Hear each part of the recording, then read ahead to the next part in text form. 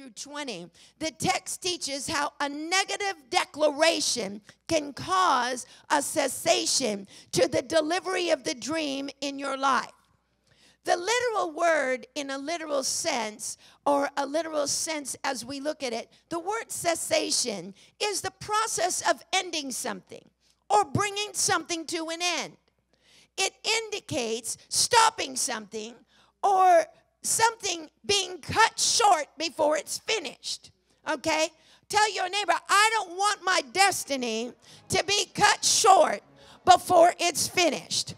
I don't want the supernatural to be stopped in my life. Can I get a witness somewhere?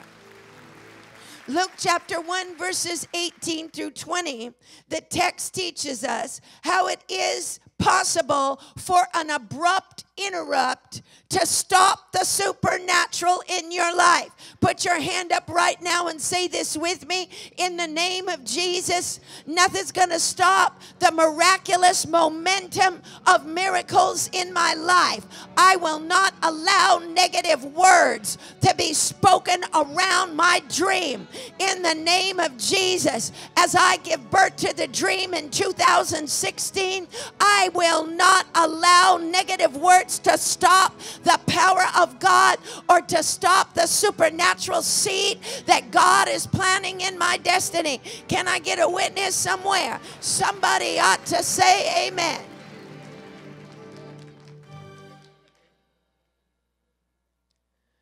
In a literal sense of scripture, Elizabeth was biologically barren and she was stricken with years.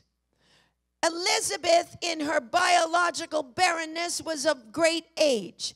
And it demonstrates to us how God delivers the dream in us despite our weakness. Here she was, biologically barren.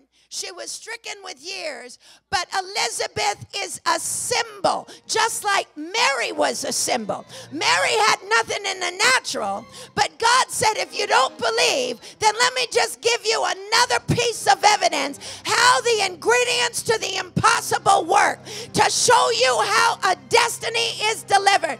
Touch your neighbor and say, I'm depending too much on myself. Much on my circumstances. Tell your neighbor this year, in 2016, I'm going to move out of trusting myself and move in to trusting God and His Word, trusting God and His power. Somebody ought to say, Amen.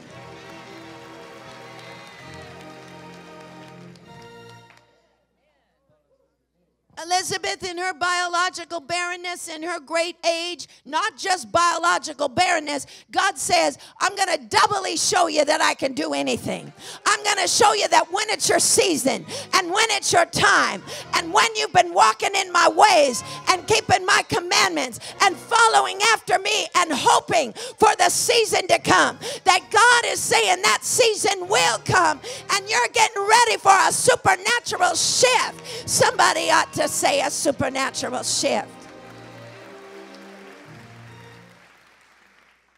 Elizabeth, in her biological barrenness and great age, demonstrates how God delivers the dream in us despite our weakness, despite our incapabilities and our numerous debilities.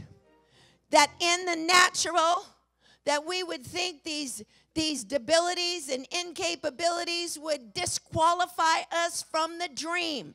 Some of us have already disqualified ourselves. Daily, we disqualify ourselves by that little tape that runs in our mind that is not of God. It's a negative tape. Touch your neighbor and say, I'm changing the tape this year. Okay? It's a negative tape because we need to understand this supernatural secret of how destiny is delivered in our lives. Hallelujah. Somebody ought to give praise to God. That means that a negative declaration can cause a cessation of the delivery of the dream in your life. So we need to cut the tape. Touch your neighbor and say, Cut the tape. Because it's a lying spirit from the pit of hell. So if you don't have the money, that's not a problem with God. If you're a little bit too old, that's not a problem with God. If your body doesn't work right, that's not a problem with God. If man doesn't accept that's not a problem with God. Mary in the it shows us in the Christmas story that nothing in the natural was necessary for God to perform his miracle. And now Elizabeth shows us in the Christmas story that even though you may think that you're disqualified from destiny, she was biologically barren and of great age, but God can still do it.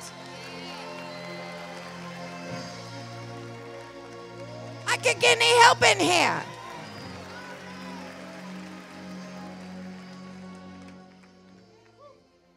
In a literal sense of scripture, as we look, Elizabeth, in her biological barrenness and great age, teaches us that nothing can disqualify us from death destiny but negative words. Touch your neighbor and say the only thing that can disqualify my destiny in 2016 is being around negative words. Somebody ought to say we're cutting the tape of those negative words in Luke 1:18, the context conveys that the negative declaration will cause a cessation in destiny. Negative words would have touch your neighbor and say but they didn't because God stopped it. Negative words would have caused Elizabeth to miscarry her miracle. I can't get any help in here. I said negative words would have brought a miscarriage to the miracle of John the Baptist had the angel not shut the mouth of Zechariah. Somebody ought to give God the praise.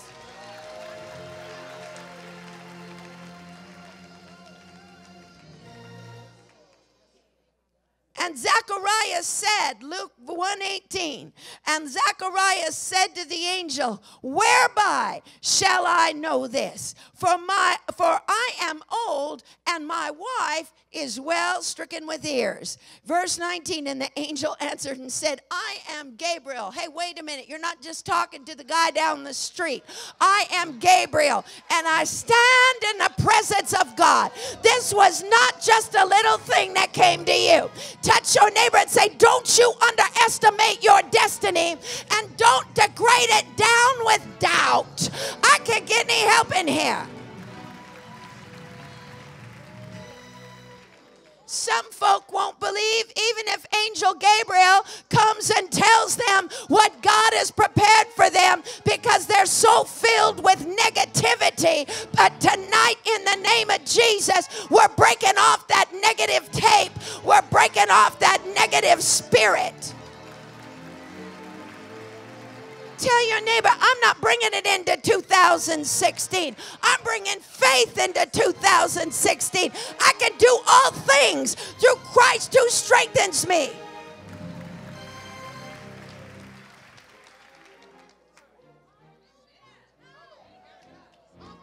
The angel said, I am Gabriel that stand in the presence of God. Verse 20. And behold, now you shall be dumb and unable to speak because you believed not my words, which shall be fulfilled in their season. Unable to speak means God had to silence the negative declaration that would have caused a termination of Elizabeth's pregnancy had he been allowed to speak a little longer. Touch your neighbor and say, We're getting rid of every negative declaration around our destiny. Somebody ought to say, This is the year I'm going to walk in the power of the word because I may not have it in the natural, but I'm not going to depend on what I have in the natural. I'm going forward to do God's work with nothing in the natural.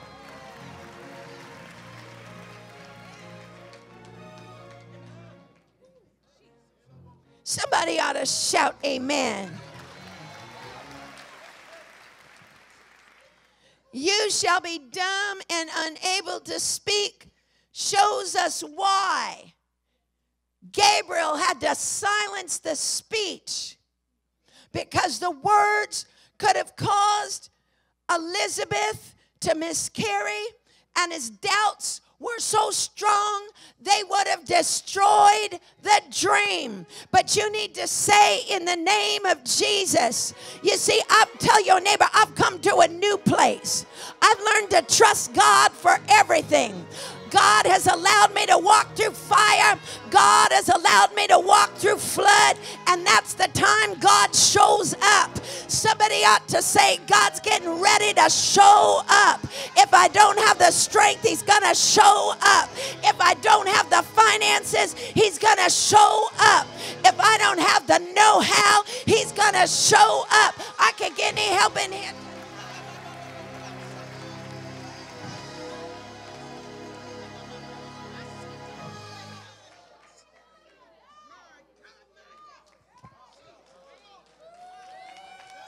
Don't know who I'm preaching to.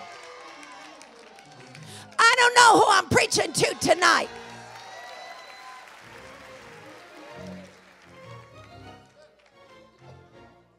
Put your hand up right now and say, Holy Ghost, do a new thing.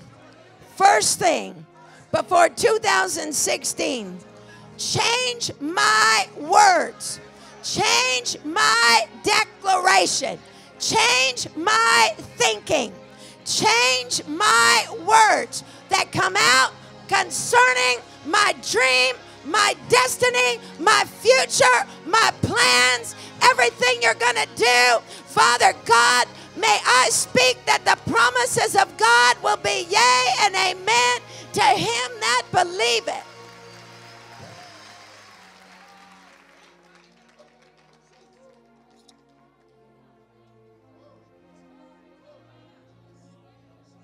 Zechariah shows us when you think of Zechariah, you think of the man who couldn't speak for nine months. Touch your neighbor and say, Let that direct my destiny in 2016. Come on. Let that direct my destiny in 2016. No negative declaration that'll cause a termination to this miracle being birthed out in my life in the name of Jesus.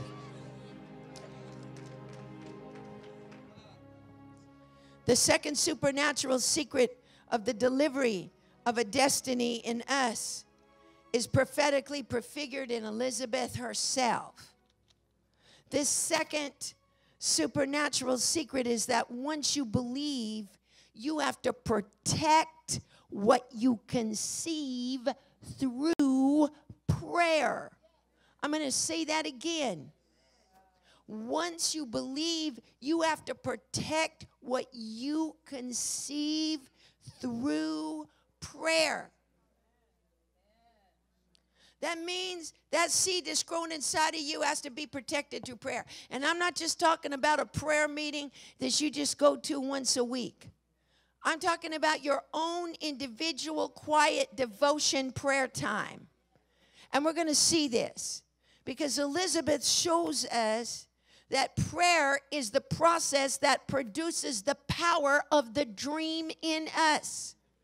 Elizabeth shows us that once we believe and we protect what we conceive through prayer, that it is the primary principle of how destiny is delivered in us. Touch your neighbor and say, It's a primary principle of how destiny is delivered in us. Elizabeth shows us that once we believe and we move forward to pro- protect what we conceive through prayer. She shows us that prayer preserves the dream so that nothing moves us out of the miraculous. Touch your neighbor and say, I got to keep this seed inside of me. Come on, I got to keep this seed inside of me. I don't want anything to move me out of the miraculous. I don't want anything to distract me. Touch your neighbor and say, I'm going to be completely focused on the dream that God has given me in 2016. So that means you're not going to get distracted by the things that the devil tries to put in your life. He's going to try to put things to pull you out of your place, try to remove you out of serving God. But you've got to stay focused on what God has told you to do, no matter what happens.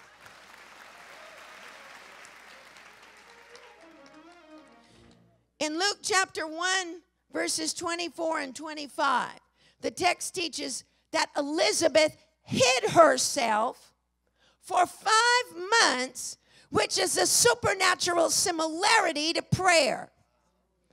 Look at the word, verse 24. And after those days, his wife conceived and hid herself for five months. Thus, hath the Lord dealt with me in the days wherein he looked upon me and removed my reproach among men. The Bible says she hid herself five months, and it is a supernatural similitude of shutting in with God. Somebody ought to say, once God gives me the word, once I get my prophetic word for 2016, I need to shut in with God and start praying over that word, start protecting that word. Hallelujah. Because what because what God has given me, I'm going to protect it through the power of prayer. Hallelujah. Somebody ought to give God praise.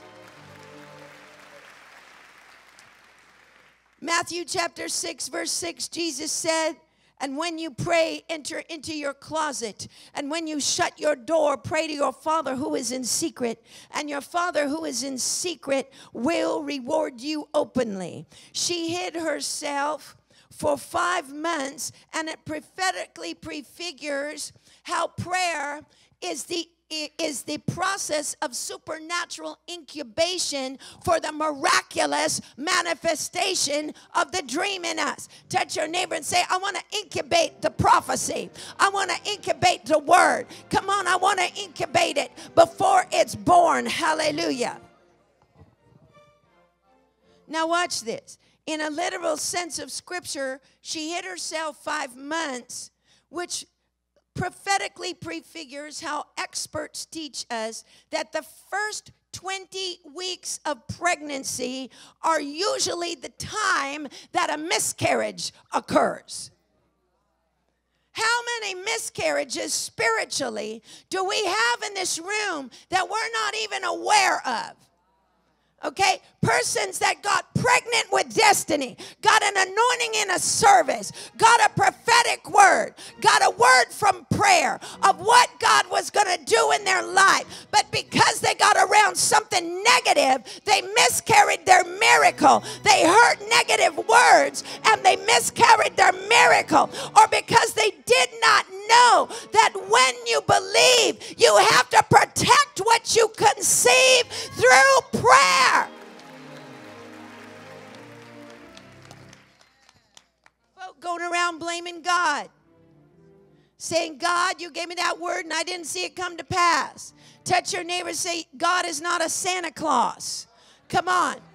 Touch your neighbor and say, Joshua had to go in and possess the promises of God. Touch your neighbor and say, Abraham had to take every step by faith and little by little possess the promises of God. There is a process to the promises.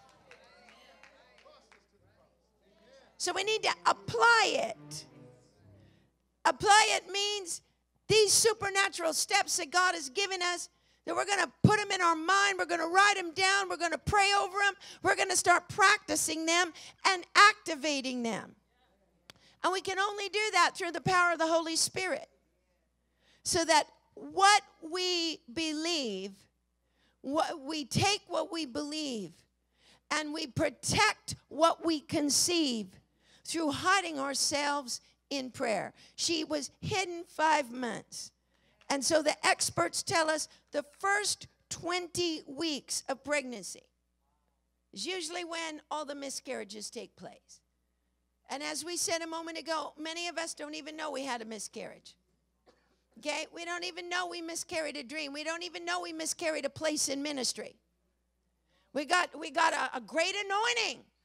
Somebody gave us a word. We started serving, and then we got around somebody that gave a negative word to us and we started to doubt and we lost the baby. Hello, somebody, can I get a witness somewhere? Or it not only works with a one time destiny, when you're getting ready to go up to another level, touch your neighbor and say, When I'm getting ready to experience supernatural graduation into the elevation of the new place God's got for me, can I get a witness somewhere? We get around the abortionist.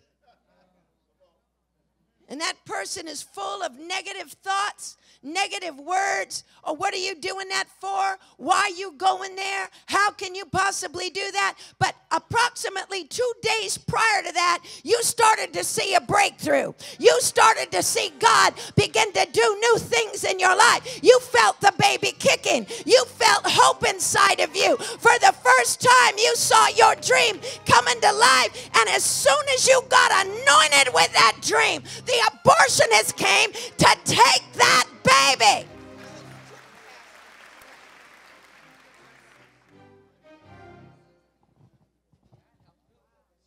Gotta just look at that person in the eyes. Say, Love you, sweetie. God bless you. But under your breath, I rebuke you in the name of Jesus. I will not receive that into my spirit because you're going to abort my child.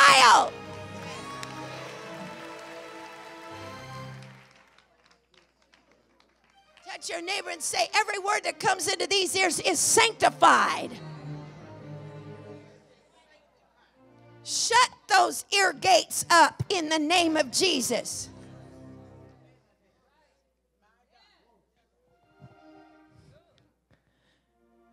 And then, how many abortions or miscarriages have taken place? Because the moment we believe, we didn't know how to protect what we conceived through prayer. We got all busy. And we got so busy we didn't spend any time with God. And the only way that baby's going to grow is do what Elizabeth did. She hid herself for five months. Nobody knew where she was. She shut in. She knew she was of great age. She knew she was biologically barren and she wasn't going to let nobody take her baby from her.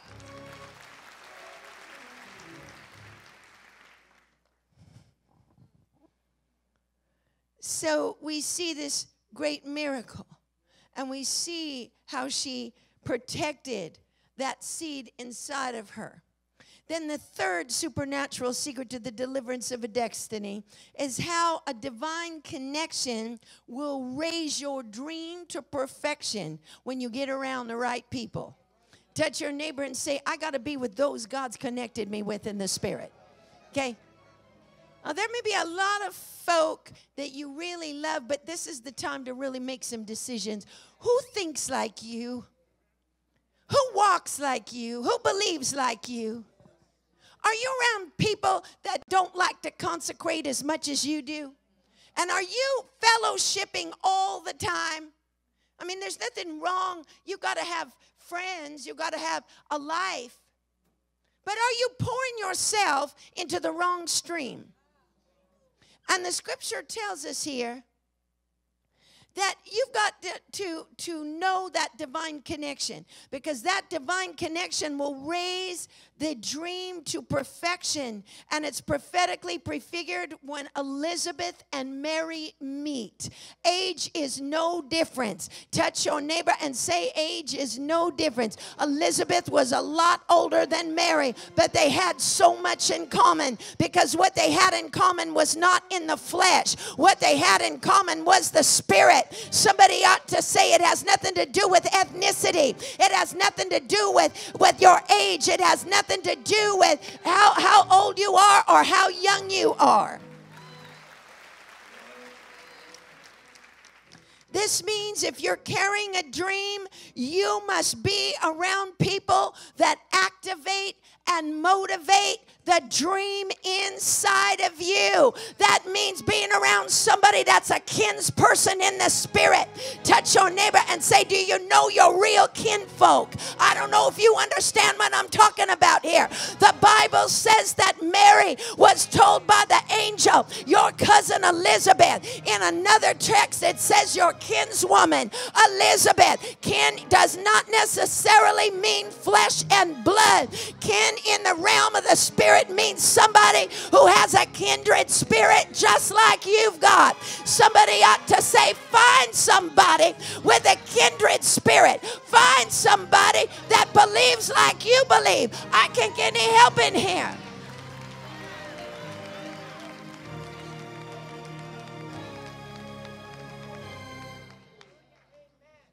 The meeting of Mary and Elizabeth shows us the essential element how these relationships are seen as divine connections. Touch your neighbor and say, treasure the heavenly relationships that God has given to you. Come on, somebody. Treasure the heavenly relationships. Touch your neighbor and say, Do you know the Elizabeths? Do you know the Marys? Do you know who you're supposed to be connected to? Come on, somebody.